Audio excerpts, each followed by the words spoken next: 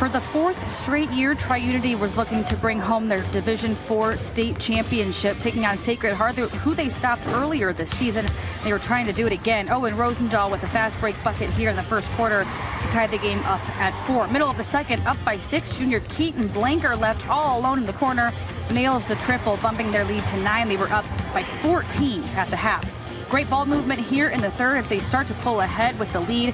Jordan Van Klompenberg sinks the pair. He led the defenders with 19 points in this game.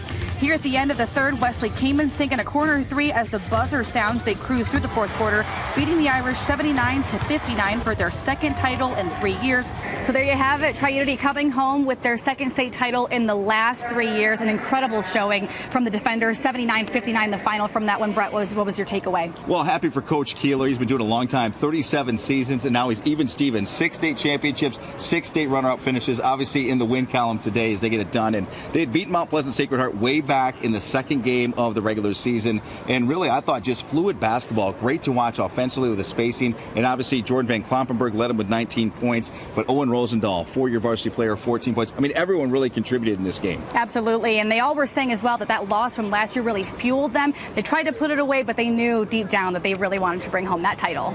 We just we had to let it go. We had to. We, that was our motivation for the whole year and uh, every practice, it, we, we all thought about it, the game almost every other day. Like it was just living rent free in our heads. But uh, we made a decision. We're, we're gonna do it or die trying this year, and we did it. So it, it paid off. Our hard work paid off.